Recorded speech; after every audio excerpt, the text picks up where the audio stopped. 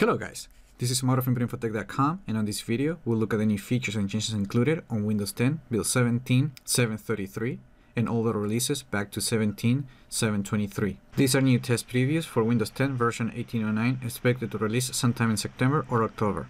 Now let's have a closer look at the most important changes in these releases. Starting with build 17 733, the File Explorer Dark theme is now complete.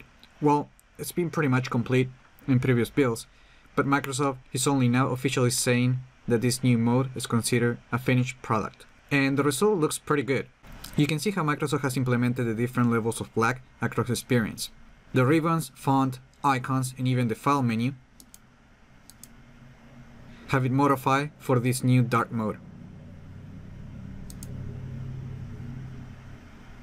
Also the dark theme extends to context menu and dialog boxes. For example, if we open the uh, Paint app and then we try to open a file, we get a dark theme interface, which looks pretty nice. Uh, another change coming to Windows 10 version 1809 or Redstone 5 is the ability to open the uh, game bar from the start menu. Previously, you were only able to use a keyboard shortcut, but now you can just open start menu and look for the uh, game bar and then just open the experience for the application or game that you're currently using. Also, on Windows 10 Redstone 5 update, you're going to find the uh, Your Phone app, which is just a new experience designed to integrate your phone even further with your computer allowing you to access text, photos, and notifications from your phone wirelessly. The new experience is expected to work with iPhone and Android, but in this first release, the Your Phone app is only available for Android devices and with limited features to simply linking your phone and accessing your recent photos, as you can see right here. You can access the uh, settings page, but there are not a lot of settings that you can uh, adjust and when you go to photos you can you can click to open the photo. And you can also drag and drop photos from the app to the desktop or or another folder. And everything is done without using a cable.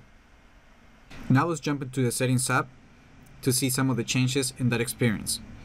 As you can see now we have a right side that shows you suggestions and other links for some reason, uh, suggestions are not appearing on, on this installation, but I can show you an image that gives you an example of how those uh, suggestions looks like. And of course, if you don't like to see any type of suggestions or even an empty section on the right, you can simply go to the uh, privacy settings and turn off this toggle switch. And then when you go back, everything returns to to the same homepage that you used to see in previous releases.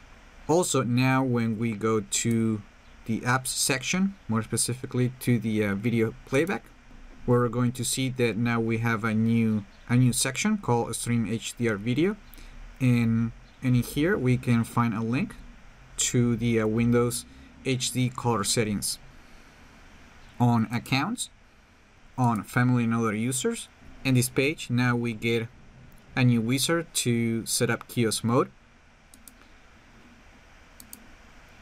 The new page provides the wizard that walks you through the kiosk setup flow, including creating a kiosk account that would automatically sign in on the device to start.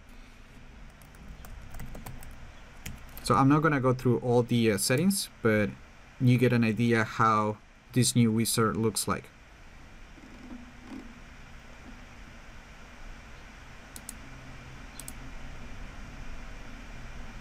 Well, I guess I did go through all the steps that you need to go through.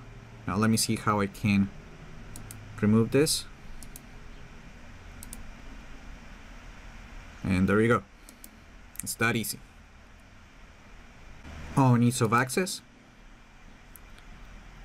on the uh, magnifier page, you'll find a new option that allows you to choose where to keep the mouse cursor and we got two options the within the edge of the screen and center on the screen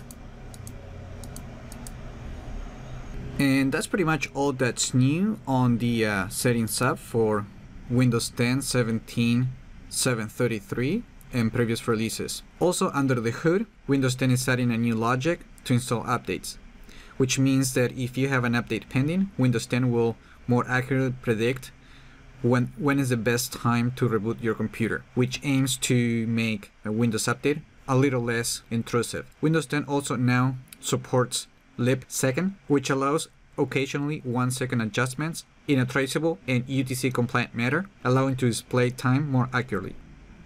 Also in this version, we get an updated version of emojis, and according to Microsoft, PDF activities used in Microsoft Edge will now show in timeline, but I've tested this functionality and it isn't working for me. On the uh, latest version of Preview Builds, Microsoft also removing some of the features that were previously included.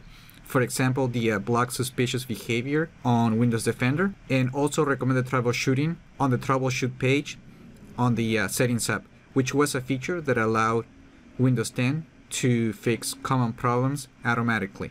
As you can see in this last four preview builds, there is not a lot significant improvements and that's because Microsoft is currently in the stages of finalizing the update. As such, moving forward, most previews will only include minor improvements and a lot of fixes. Also, even though we're still weeks away from the official launch of the uh, Redstone 5 update, the performance of the latest build is quite good and seems a little bit less buggy than in previous builds. And that's all the new features and changes included on Windows 10, build 17 733, 17 730, 17 728, and 17 723. Remember to like the video, leave your comments, subscribe to the channel if you haven't done that yet, and I just hope this video was informative for you and I would like to thank you for viewing.